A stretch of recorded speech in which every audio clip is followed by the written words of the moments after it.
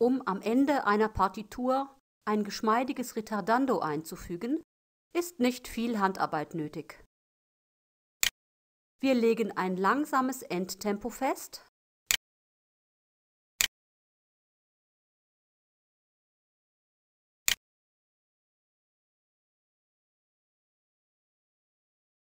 und markieren dann den Bereich, in dem verlangsamt werden soll. Nun wählen wir Extras, Tempo, Interpolieren. Die Automatik setzt an jede Note eine eigene Tempomarke, die Werte werden immer kleiner.